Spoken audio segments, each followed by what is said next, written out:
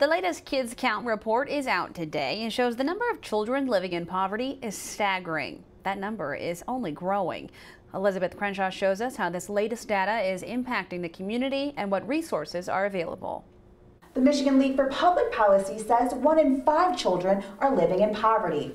That's a 15% increase since 2008 a statistic that Joanne Jackson Johnson, Director of Human Relations and Community Services, is all too familiar with. What it represents is several things. Number one, uh, families that are uh, working in the greater Lansing area, uh, and we have larger numbers of city uh, individuals in the city of Lansing that they just aren't surviving, and we have so many challenges from basic needs. Johnson tells me Lansing is ranked number 46 in Michigan for overall child well-being and says the city is a hub for homelessness and children and families missing meals. Our last count was almost 5,000 individuals, and of those, you know, 49% were women with children. But there are resources available to help kids and families in need. The City of Lansing does a feeding program seven times a year when there is no school and no free lunches available.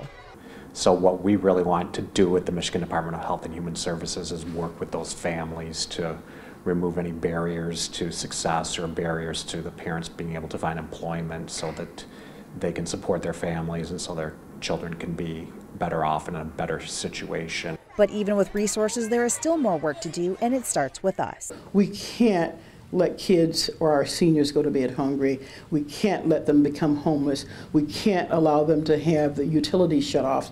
We as a community have to uh, pull our resources together and make sure that Lansing is a healthy and happy place for all. In Lansing, Elizabeth Crenshaw, Fox 47 News. The Michigan Department of Health and Human Services says families in need can call 211 for help finding resources in the community.